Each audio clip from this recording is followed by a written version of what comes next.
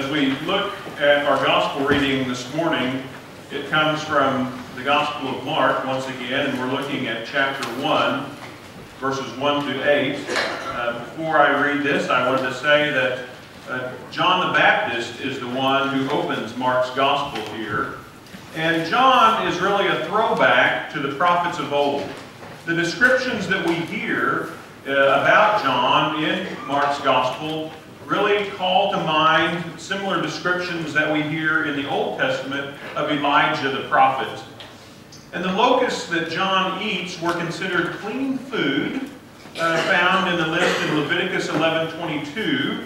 And this indicates that uh, John really is out living off the land. He's eating a poor diet, but he's still remaining uh, clean in the holy sense of the word from the law. And John really does invite us into this story, and I would invite us to hear it once again. The beginning of the good news of Jesus Christ, the Son of God. As it is written in the prophet Isaiah, See, I am sending my messenger ahead of you, who will prepare your way, the voice of one crying out in the wilderness, Prepare the way of the Lord, make his path straight. John the Baptizer appeared in the wilderness proclaiming a baptism of repentance for the forgiveness of sins. And people from the whole Judean countryside and all the people of Jerusalem were going out to him and were baptized by him in the river Jordan, confessing their sins. Now John was clothed with camel's hair, with a leather belt around his waist, and he ate locusts and wild honey. He proclaimed, The one who is more powerful than I is coming after me I am not worthy to stoop down and untie the thong of his sandals. I have baptized you with water, but he will baptize you with the Holy Spirit. This is the word of God for the people of God. Thanks, be to God. Let us pray. Oh, gracious and loving God, we are your thankful people. We are grateful to gather here together for worship and to hear your word proclaimed as we consider John the Baptist calling people to repentance of sin, preparing the way of our Lord. Let us truly understand this word today for our lives. May it become real, that we may become more real in Christ Jesus. We pray these things in his holy name. Amen. Anybody ever watched the show Cheers when it was on television? Years ago, we have a few that watch Cheers. That was one of my favorites uh, a while back. I won't say how long ago that was, uh, if you're younger than that, but it was a while ago. Carla was the waitress in this bar in Boston on Cheers, and she was awful. Uh, as far as her temperament and everything was just bad all the time, and that was kind of her character. That was her role to play. But in one episode, she found out that her son was becoming a priest. He decided to go into the priesthood. And so she was so excited that he was becoming a priest. And her, her demeanor around the customers actually got worse. And she got much more uh, rude with everyone. And, and finally they said, you know, I said, why are you being so extra rude? You know, why are you being so bad like this? And she said, I tell you why. It's because my son's becoming a priest. And when your son becomes a priest, it's a free ticket to heaven. It doesn't matter what you do. And then she took some scissors and she cut some suspenders off one of the customers. And uh, just cut them right there. The suspenders just fall. And she says, right now, God's looking at me and saying, what am I going to do? and so this behavior kind of continued, and then at, towards the end of the episode, her son comes walking in with the woman. and uh, she says, uh, hey, uh, you can't be dating her, you're going into the priesthood. And he said, oh, I changed my mind about that. I'm not going to be a priest anymore. And oh, you see the look of horror come across her face as she realizes all that she's done before God just recently. And so she gets down and she really begins to pray in earnest and really to repent of her sin. Um, that was a fun episode in that as we see uh, her in that little microcosm, we see ourselves in that we're not always on our best And there are times when we realize it and we need to repent. John the Baptist comes today and opens this wonderful gospel lesson with a call to repentance. Uh, he, it's a baptism that he baptizes of repentance. And so if we think about this, if it's a baptism for repentance and the forgiveness of sins, why does Jesus then go to John for baptism?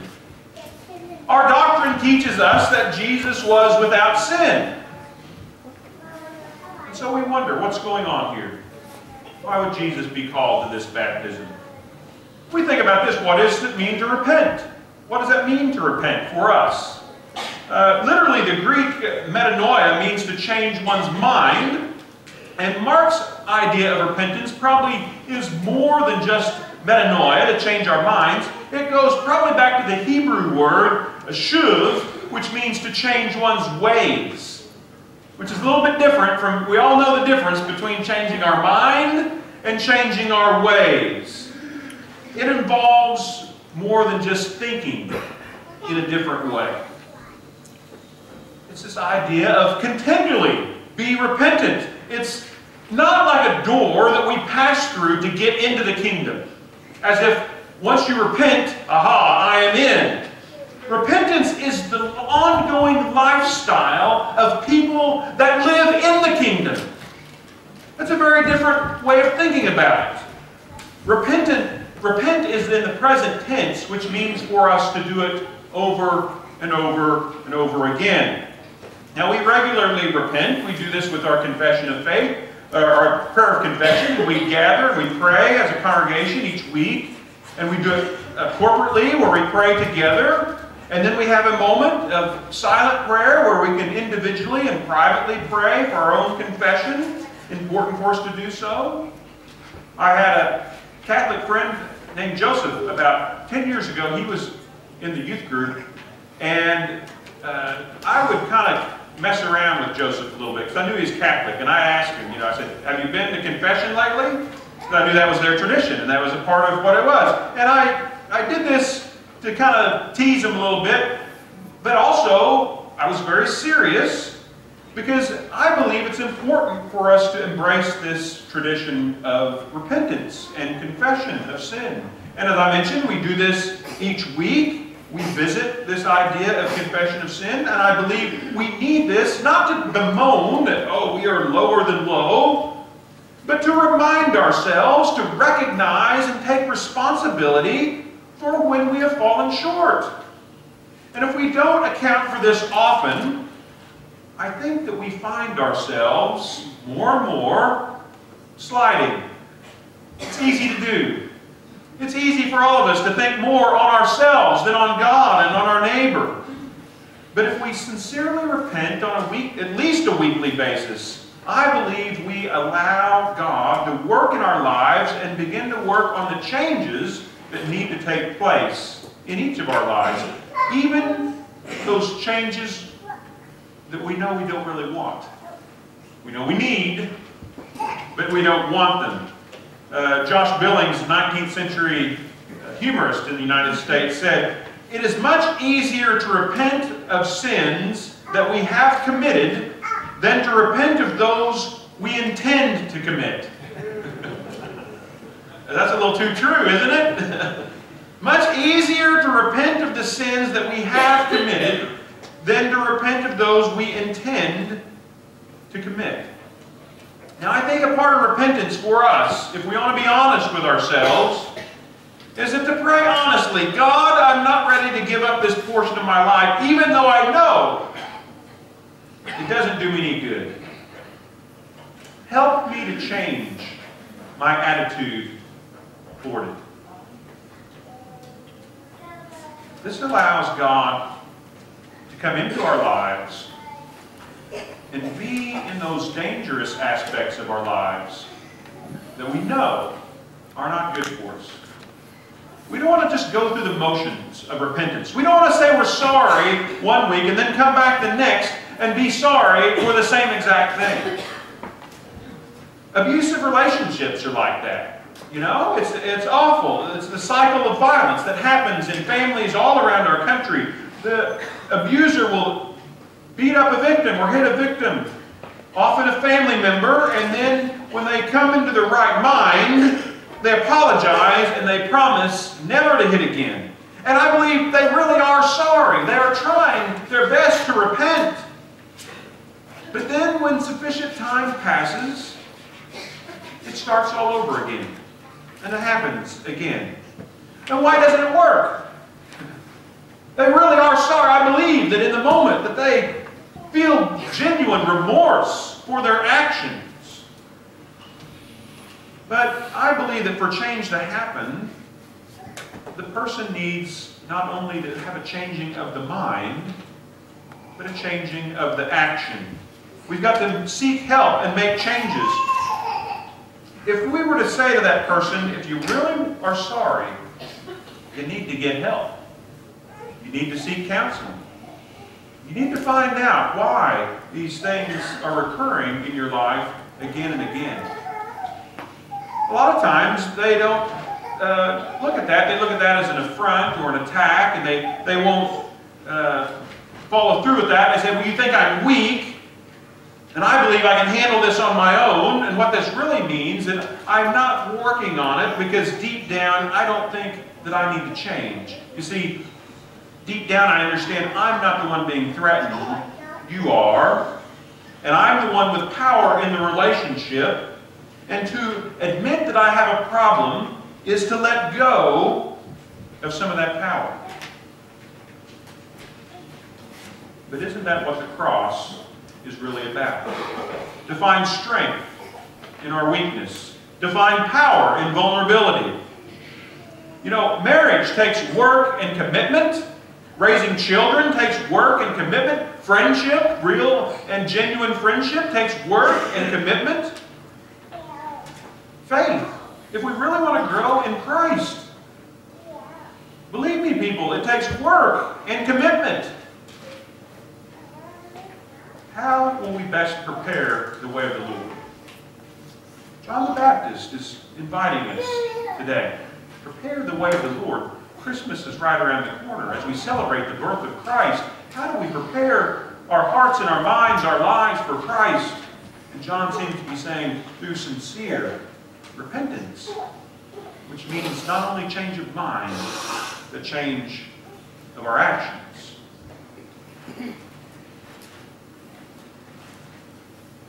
Why was Jesus baptized by John? He was truly sinless. Maybe it was a movement of turning his head away from temptations and setting them firmly on God. I don't believe it's any coincidence that following the baptism of Jesus, you know what happens in Mark? The very next thing he does, he goes out into the desert to fast and to pray, where he is tempted. And I'm going to give a spoiler alert. He resists temptation.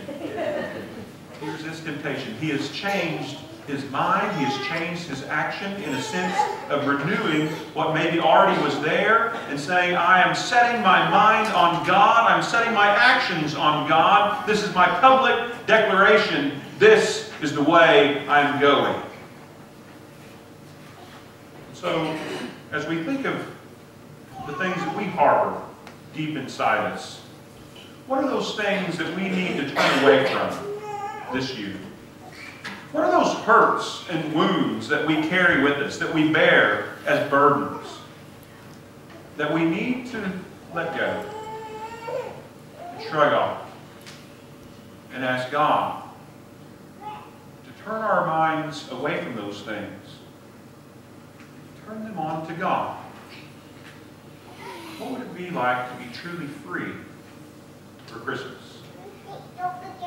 What would it be like to truly be able to embrace Christ fully on Christmas morning. Frank Pennert was a multimillionaire. He owned a contracting business, and he was not a Christmas kind of guy.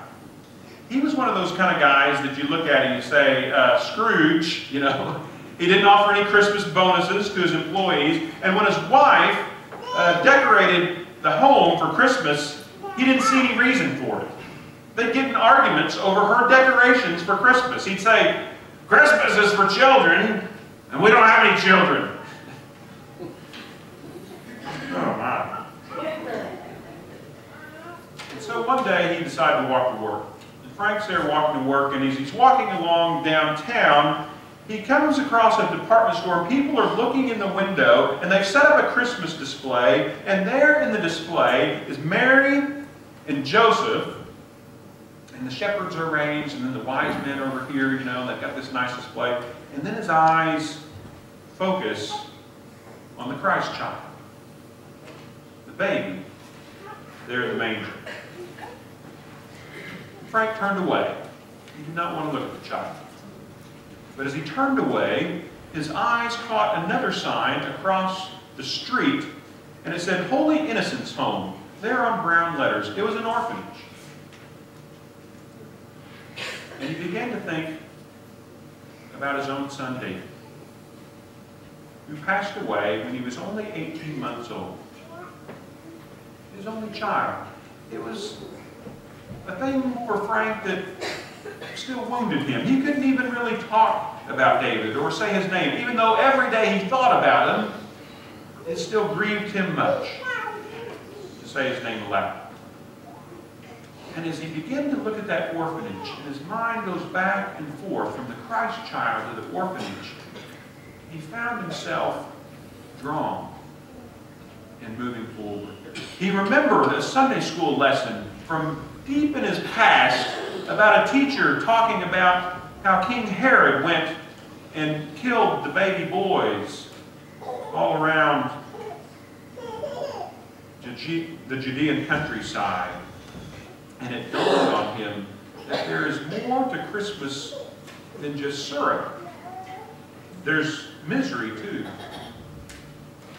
And that evening, Frank and his wife Adele dined by themselves alone. And as they were eating there, he said, I went to visit an orphanage today. You could have, you know, knocked her off the chair. You know? what?